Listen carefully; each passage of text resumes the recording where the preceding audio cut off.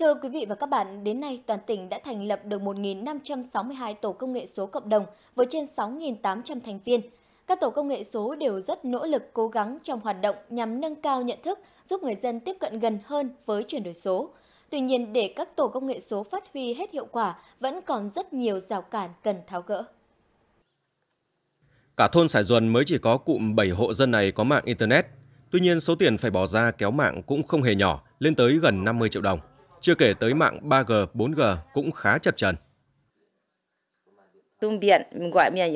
Công nghệ số thì có cái dùng điện thoại thông minh là mình sẽ được cảm uh, tiếp xúc với những cái thông tin mới mẻ và được gọi trực tiếp cái video với người thân ở trên qua mạng cũng vừa là được biết thêm những cái thông tin của chính sách nhà nước. Con ở đây là là khó khăn cái cái kinh phí nên là bà con khi mình mình đã nói bằng đấy kinh phí thì bà con cảm thấy nó rất sợ đang vận động bà con ờ, ở gần những hộ để mình ờ, lấy cùng cùng ờ, san sẻ cái wifi đấy. Thôn Van Hồ có 70% người dân sử dụng điện thoại thông minh. Tuy nhiên, chỉ có khoảng 10% người dân, đa phần là người trẻ thường xuyên tiếp cận với các ứng dụng của chuyển đổi số, chủ yếu là mua hàng online. Việc vận động nhân dân trong thôn tham gia chuyển đổi số của Tổ công nghệ số cộng đồng thôn Van Hồ vẫn còn khá nhiều khó khăn. Đây thì dân nhà, gọi là nhận thức còn chưa được chưa được cao nên chuyển đổi số đấy chỉ để lướt phây giải trí thôi. Chuyển đổi công nghệ số thì cũng chưa có.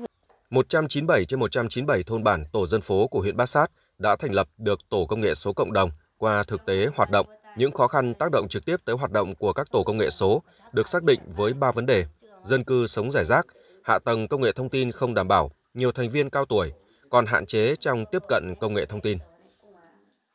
Xác định được những cái khó khăn ở trên địa bàn, chúng tôi cũng đã chủ động tham mưu đối với ban chỉ đạo chuyển đổi số của huyện, kịp thời ờ, đầu tư các cái trang thiết bị phục vụ cho công tác chuyển đổi số, đặc biệt là trong công tác chính quyền số tiếp tục ờ, thực hiện công tác tuyên truyền trên các cái phương tiện để làm sao bà con nhân dân ờ, trên địa bàn toàn huyện nhận thức ừ,